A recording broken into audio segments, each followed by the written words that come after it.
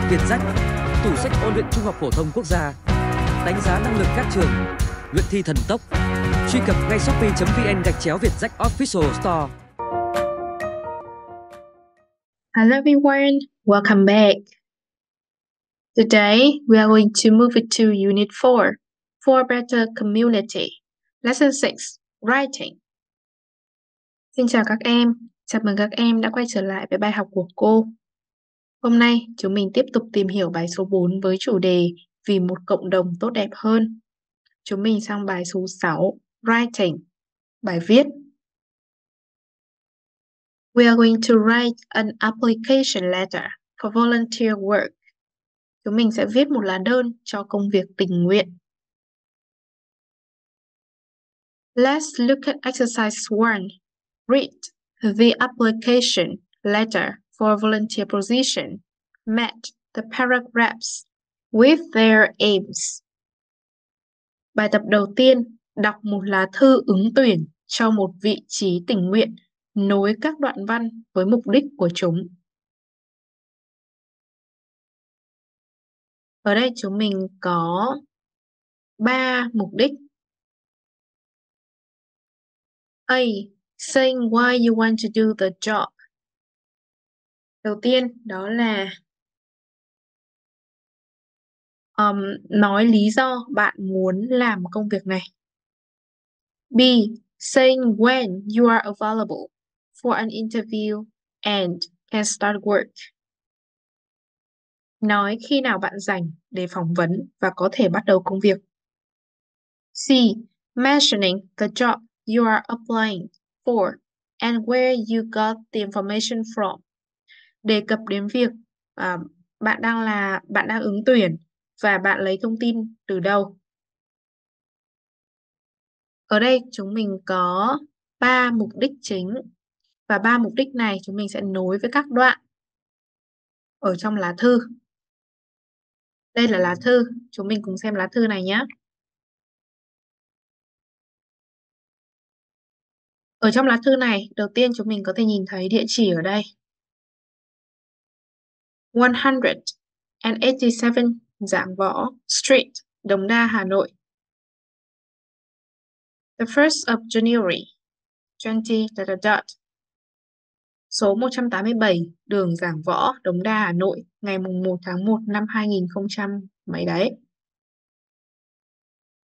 Heart to Heart Charitable Organization 100 Hà Thành Street, Hà Nội Trái tim đến trái tim, tổ chức từ thiện 100 Hà Thành, Hà Nội. Mở đầu thư, chúng mình sẽ nói là Dear Sir or Madam, thưa ông hoặc bà. Ở đây chúng mình có 3 đoạn. Chúng mình sẽ đọc 3 đoạn này và nối nó với các ý chính mà chúng mình vừa đọc A, B or C. Paragraph 1, đoạn đầu tiên.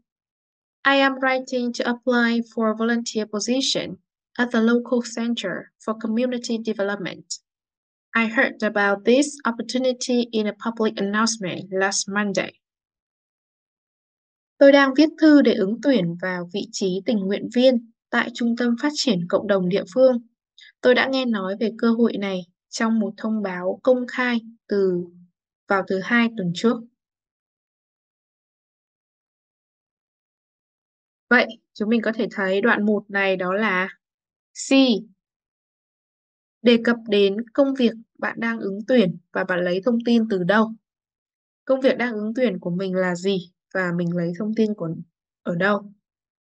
Công việc đang ứng tuyển ở đây cụ thể đó là tình nguyện viên tại Trung tâm Phát triển Cộng đồng địa phương và lấy thông tin đó là ở trong một à, thông báo công khai từ thứ hai tuần trước. Paragraph 2, đoạn 2. I am interested in your community development projects because I really care about the life of people in the community and want to offer my services to you.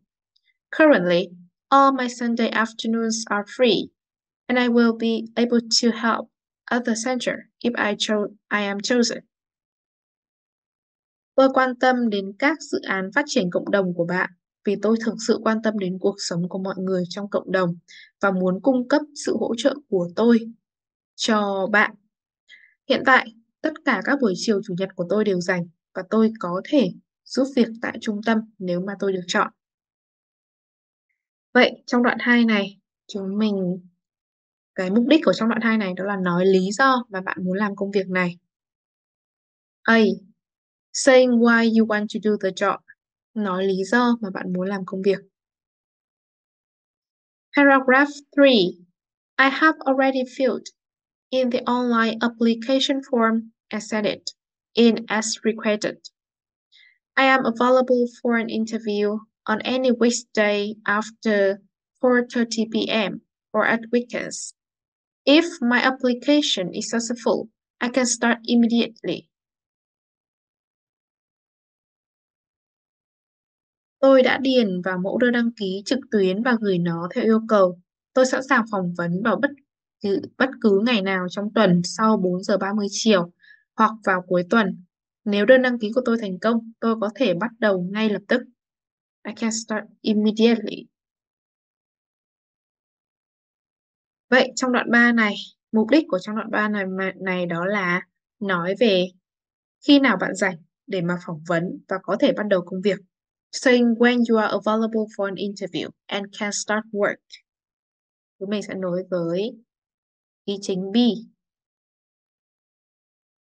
Kết thư chúng mình có nói là I look forward to hear, hearing from you. Tôi mong muốn được nghe từ ông bà, từ bạn. Yours faithfully. Nguyễn Hà Vi, trân trọng Nguyễn Hà Vi. Như vậy, ở trong đoạn 1 của bức thư, ở trong đoạn 1 của bức thư, đó là đề cập đến công việc bạn đang ứng tuyển và bạn lấy thông tin của nó từ đâu. Ở đoạn 2, nêu lý do bạn muốn làm công việc này. Và ở đoạn 3 là nói khi nào bạn rảnh để phỏng vấn và có thể bắt đầu công việc.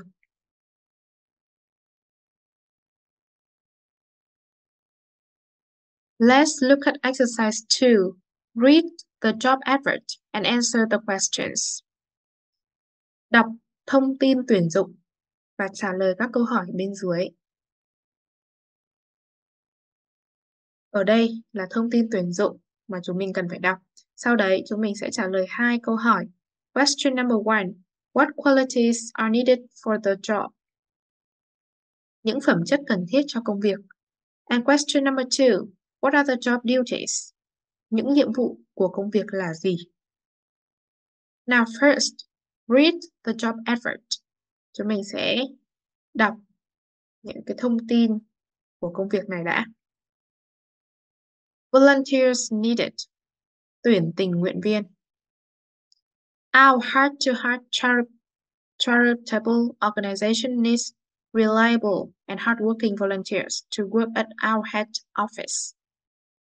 Tổ chức từ thiện trái tim đến trái tim của chúng tôi cần những tình nguyện viên đáng tin cậy và chăm chỉ làm việc tại trụ sở chính của chúng tôi. The job will involve welcoming guests and visitors to the office and receiving and sorting donations. Công việc sẽ liên quan công việc liên quan um, đến việc chào đón khách và khách đến thăm văn phòng nhận và phân loại các khoản đóng góp. Vậy thì chúng mình có thể trả lời được câu hỏi đầu tiên. What qualities are needed for the job? Những phẩm chất cần thiết cho công việc này là gì?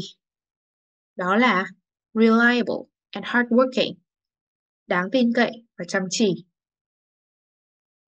What are the job duties? Những nhiệm vụ trong công việc này là gì? Những nhiệm vụ ở đây là welcoming guests and visitors and receiving and sorting donations. Nhiệm vụ ở đây là chào đón khách và khách đến thăm văn phòng. Nhận và phân loại các khoản đóng góp.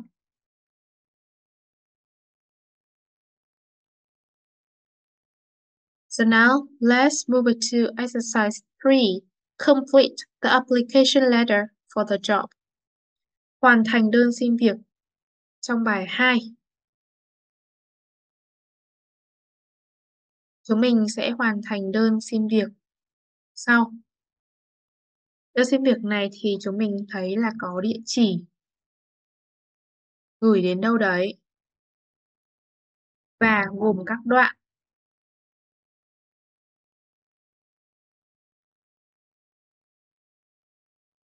Heart to Heart Charitable Organization, 100 Hatang Street, Hanoi. Dear Sir and Madam, I am writing to apply for a volunteer position. Dot, dot, dot. Trái tim đến trái tim. Tổ chức từ thiện 100 Hà Thành, đường Hà Thành, Hà Nội. Thưa ông hoặc bà, tôi đang viết lá thư để ứng tuyển vào vị trí. Vị trí gì đấy? I am interested in. Tôi quan tâm đến. Mình sẽ nói về nhiệm vụ. Quan tâm đến nhiệm vụ gì?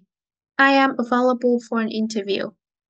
Tôi sẵn sàng phỏng vấn vào vào ngày nào. If my application is successful, I can start. Nếu đơn đăng ký của tôi thành công, tôi có thể bắt đầu vào ngày nào. I look forward to hear, hearing from you. Tôi mong muốn được nghe tin từ ông bà.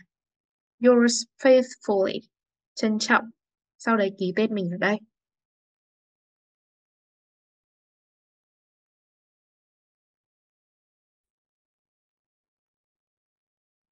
Sau đây là một lá thư ví dụ các em có thể tham khảo. Phạm Văn Đồng Street, Cầu Giấy, Hà Nội. The 1st of January 2024. Địa chỉ ở đây, địa chỉ gửi đó là đường Phạm Văn Đồng, Cầu Giấy, Hà Nội, ngày 1 tháng 1 năm 2024. Heart to Heart Charitable Organization, 100 Hatang Street, Hà Nội. Trái tim đến trái tim, tổ chức từ thiện 100 Hà Thành, Hà Nội. Dear Sir or Madam, I am writing to apply for a volunteer position. I heard about this opportunity in a public announcement yesterday. Thưa ông hoặc bà, tôi đang viết lá thư để ứng tuyển vào một vị trí tình nguyện viên. Tôi đã nghe nói về cơ hội này trong một thông báo công khai ngày hôm qua. I am interested in your community development projects because I really care about the life of people in the community. I think I am reliable and hardworking. I am also confident enough to complete all the duties, including welcoming guests and visitors to the office and receiving and sorting donations. Tôi còn quan tâm đến các dự án phát triển cộng đồng của bạn vì tôi thực sự quan tâm đến cuộc sống của mọi người trong cộng đồng. Tôi nghĩ tôi đáng tin cậy và làm việc chăm chỉ. Tôi cũng đủ tự tin để hoàn thành tất cả các nhiệm vụ, bao gồm chào đón khách và khách đến thăm văn phòng, nhận và phân loại các khoản đóng góp. I am available. I am available for an interview on any weekday after 5 p.m. or at weekends. If my application is successful, I can start immediately. Tôi sẵn sàng phỏng vấn vào bất kỳ ngày nào trong tuần sau 5 giờ chiều hoặc vào cuối tuần. Nếu đơn xin việc của tôi thành công, tôi có thể bắt đầu ngay lập tức. I'm looking forward to hearing from you. Tôi rất mong được nghe từ ông bà. Your faithfully, Nguyễn An Chi. Trân trọng, Nguyễn An Chi. Chúng mình sẽ ký tên của chúng mình ở đây.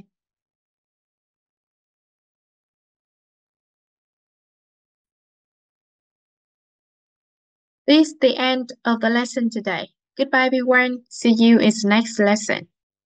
Khóa học về rách Sự lựa chọn của hàng triệu phụ huynh và học sinh Trải nghiệm ngay khóa học của Vietjet